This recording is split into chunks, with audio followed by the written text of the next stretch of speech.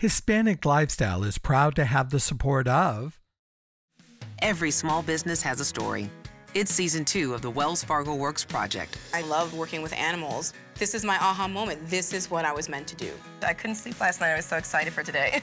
See the new season at wellsfargoworks.com. Hello, my name is Teresa Razo. I'm the catering and uh, marketing director for Villa Roma in Laguna Hills. We're an Argentine and Italian restaurant. Ever since the beginning of day one, my husband has been involved in the Villa Roma. Uh, started as a prep and then cook and move his way up. And then when we were able to relocate to Laguna Hills, uh, that's when his partner and him decided to become just sole owners, both of them together.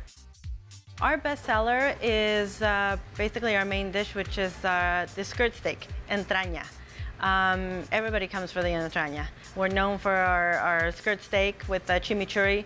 We make our chimichurri in home, um, along with other um, materials that we use in home. We do have two markets. Uh, we have the restaurant, which is more of a fine dining uh, restaurant with live music on the weekends and uh, very uh, family oriented in service.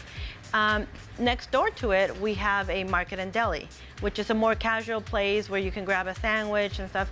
That place, I could tell you that their best seller on top of sandwiches would be our empanadas.